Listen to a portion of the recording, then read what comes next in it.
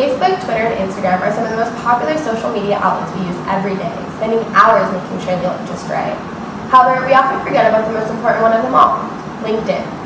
Although it might not be as fun and creative as the others, it's the number one way to network with business professionals all around the world. With over 225 million members, it's safe to say that joining LinkedIn can't be a mistake.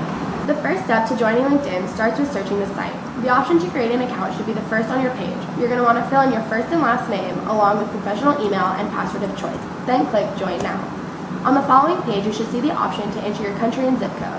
Shortly after, you would fill in if you're a student or if you work, what your job title is and the company you work for.